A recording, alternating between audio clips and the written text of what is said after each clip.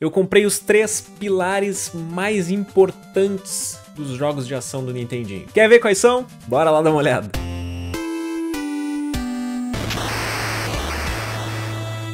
Fala pessoal, tudo beleza? Carlos Cine por aqui. Calma, calma, era só uma provocação, tava só brincando, mas olha, eu acho que eu acho que muita gente vai concordar comigo que esses aqui são três pilares importantes para fortalecer, para deixar firme essa fundação que é os jogos de ação e que muitos começaram lá no nosso saudoso Nintendinho, né, 8 bits. Esses três aqui talvez sejam os mais influentes ou alguns dos mais influentes com certeza. Claro que cada um tem o seu gosto, né? O Nintendinho tem, porra, dezenas de jogos de ação que realmente são incríveis, mas esses três aqui são para mim os três dos mais importantes de, de, dessa plataforma fantástica que é Nintendo, o Nintendo 8 bits. O primeiro deles, o Batman da Sunsoft. O segundo, Mega Man 2, pô. Quem é que vai discordar que o Mega Man 2 é um dos pilares dos jogos de ação do Nintendinho?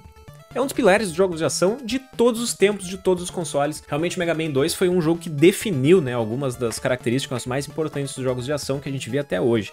E o terceiro, para mim, é o Ninja Gaiden da Tecmo. Eu tenho aqui o Ninja Gaiden 2, porque foi o que eu consegui comprar. Mas o Ninja Gaiden 1, para mim, 1. Ninja Gaiden 1 é o mais importante, realmente, é um desses três pilares. Eu botei o Ninja Gaiden 2 aqui porque nessa compra que eu fiz agora, eu fiz a compra desses três jogos. Realmente, o Ninja Gaiden Gaiden 1 é um jogo, um dos jogos mais importantes da minha vida, foi muito importante para mim. Na minha infância, lá joguei demais o Ninja Gaiden 1 e é um jogo que eu quero um dia, um dia eu quero comprar ele original, nem que seja aquela versão pretinha, né, que a gente via nas locadoras aqui do Brasil. Era aquela que eu jogava, então pelo menos aquela eu quero ter. E como eu não tenho verba para comprar esses jogos originais, eu fiquei então com o Ninja Gaiden 2 para representar o 1. Mas o que, que vocês acham, hein? Batman da Sunsoft, Mega Man da Capcom e Ninja Gaiden da Tecmo. Três jogos que são pilares dos jogos de ação. Vocês não concordam comigo? Manda nos comentários, manda nos comentários. Se concorda ou se discorda, pode mandar nos comentários. Uma coisa é certa, são jogaços e que a gente com certeza se divertiu muito jogando e se pegar para jogar hoje, não envelheceu um dia, cara. Esses jogos aqui não envelheceram um dia, eles seguem sensacionais. Esses cartuchinhos fantásticos que eu já mostrei aqui no canal e que a gente encontra no AliExpress por um preço justo não são exatamente baratos, mas são um preço justo, né? Se a gente comparar aí com os originais. Imagine esses jogos originais, pessoal. Eu não, eu não consigo nem imaginar quanto custa um Ninja Gaiden 2 original.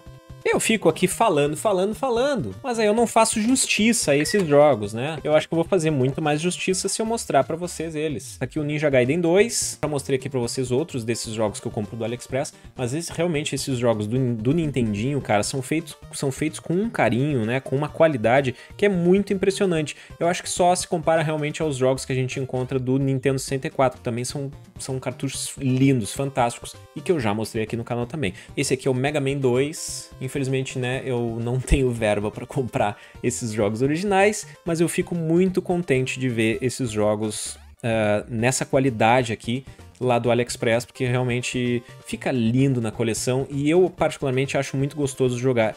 É óbvio que a gente tem outras formas de jogar, né? A gente pode jogar nos emuladores, aí eu mostro sempre aqui as formas mais práticas e mais baratas da gente jogar esses jogos clássicos, porque eu não quero que eles morram, eu não vou deixar eles morrerem mas para mim a sensação de colocar o cartucho do jogo e nisso entra também os Everdrives. Eu gosto de Everdrive, tenho os Everdrives, mas para mim a sensação de colocar o cartucho do Batman no videogame e ligar e jogar, para mim é algo único. Então por isso que eu gosto de ter, além de ter para coleção, para jogar, porque eu compro o jogo para jogar, pessoal. Raramente eu vou comprar um jogo só para botar na coleção, normalmente é para jogar. No máximo, na pior das hipóteses, eu vou comprar um jogo que eu gostava quando era criança, jogava muito quando era criança, mas é ruim. E aí o máximo que eu vou fazer é dar uma ligadinha para lembrar que ele é ruim. Então tem alguns jogos que são muito ruins, mas que eu jogava tanto quando era criança que acabo comprando para ter também. Eu já mostrei eles por dentro, né, em outras ocasiões, esses cartuchos aqui. De qualquer forma, deixo na tela aí para vocês verem que o, que o chip é super bonitinho, o cartucho é realmente super, super bem feito. Mas a ideia é a gente testar, né? Então eu vou ligar aqui no meu Top Game. Esse Batman aqui, ó, eu quero apresentar para vocês em homenagem ao Wilker Fonseca, que, que é um inscrito aqui do canal, já mandou comentários aqui no canal dizendo que o Batman do Nintendinho é o jogo preferido dele, cara. Ele mandou um comentário dizendo assim, ó, meu jogo do coração é o Batman de videogame, do NES. Pra mim é o melhor jogo e mais bem feito jogo do NES. Tenho ele original e o Phantom na caixa completa. Então, fico muito feliz que você tem esse jogo, né, que pode relembrar essa época tão maravilhosa que foi pra gente, que foi essa época do Nintendinho. É, se não me engano, ele comentou no meu vídeo sobre o Zelda uh, A Link to the Past que eu comprei para relembrar o meu pai, o meu falecido pai. Então eu sei como é, né? A gente ter essas lembranças, assim, esses jogos que realmente marcaram a nossa vida. E esses aqui são alguns que marcaram a minha vida. Vou ligar aqui. Eu tô usando aqui, ó, o meu o meu controlezinho 8-bit do que eu já mostrei aqui no canal também, ligado no adaptadorzinho que eu já mostrei aqui no canal também. Esse adaptador mágico que a gente consegue ligar os controles estilo NES num top game, num turbo game, num, num Phantom System. Então é sensacional. Cara, esse Batman aqui é maravilhoso, essa música é maravilhosa. Vocês conseguem perceber que o jogo funciona perfeitamente, esses joguinhos do AliExpress. Esse jogo aqui definiu também os jogos de ação, como eu falei para vocês. Eu acho que esse jogo aqui definiu os jogos de ação no Nintendinho. Ele com certeza foi muito importante para a gente perceber como os jogos de super-herói podiam ser sensacionais, né? Porque a gente tinha muita porcaria nessa época, mas também tinha muita coisa boa, como é o caso do Batman. Aí, Vilker, jogão, cara. Jogão realmente. Agora a gente vai testar aqui o Mega Man 2. Agora eu vou botar o controle do Super Nintendo. Vou fazer essa here... quase heresia, né? Heresia não dá pra dizer, né? Heresia seria jogar com controle de Mega Drive, de Master System, mas como é de Super Nintendo tá tudo certo. Eu tô sem retorno de áudio, né? Eu tô jogando direto no OBS, pra vocês terem uma ideia. E essa minha plaquinha de captura eu não consigo nem ligar na televisão. Aí, ó.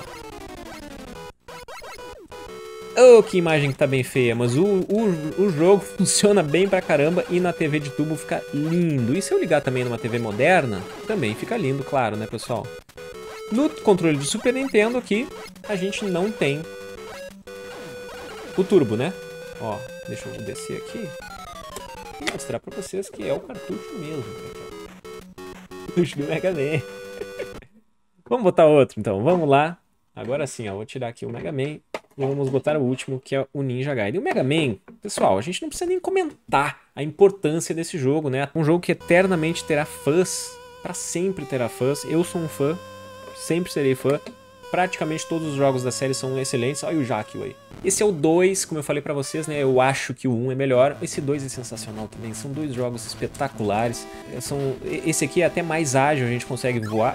voar. A gente consegue subir as, as plataformas, né? No 1 a gente tinha que só pular e, e ficar grudado. Esse é um jogo muito divertido também. O 3 para mim é o mais fraco deles, mas o Ninja Gaiden é aquele jogo que exigiu muita resiliência né, dos, dos jogadores, é, daqueles que testou os limites dos jogadores né, no, na, na, dificuldade, lá na última, principalmente na última fase. Dizer que o Ninja Gaiden não definiu as tendências dos jogos de ação é estar tá mentindo para si mesmo. É, pode até ter outros jogos aí que sejam muito importantes. Um deles é esse aqui. Um deles é esse aqui, né, pessoal? Castlevania. Castlevania foi definitivo também. E muitos outros, Metroid, enfim. O Nintendinho teve muitas, muitas pérolas. Mas para mim, esses três aqui, Mega Man, Batman e, e Ninja Gaiden, um ou dois, tanto faz, são realmente jogos que definiram os jogos de ação daí por diante. Eu queria mostrar porque realmente quando eu fui para fazer essa compra, eu, eu comprei pensando, eu vou comprar jogos de ação do NES, difíceis de encontrar uh, originais, mas que realmente marcaram a minha infância e que são jogos definitivos do console. Para mim, esses três são jogos definitivos do console, que eu não tinha ainda, né? Vocês acham que é uma boa lista e uma boa trinca de jogos do Nintendinho? Eu duvido que vocês discordem de mim que são jogos importantes e jogos de alta qualidade. Mas talvez vocês tenham opiniões diferentes e essas opiniões que eu quero ouvir, quero ver lá nos comentários. Manda aí nos comentários quais são os três jogos definitivos de ação do Nintendinho para vocês. Se chegou aqui de paraquedas, se inscreve aí no canal, ativa o sininho para receber as notificações. Considera se tornar um membro, tem bastante coisa exclusiva para membro. Todo mês tem vídeo novo também exclusivo para membros, além de outras vantagens e além de ajudar muito o canal a continuar crescendo. Beleza? Valeu, a gente se vê no próximo vídeo.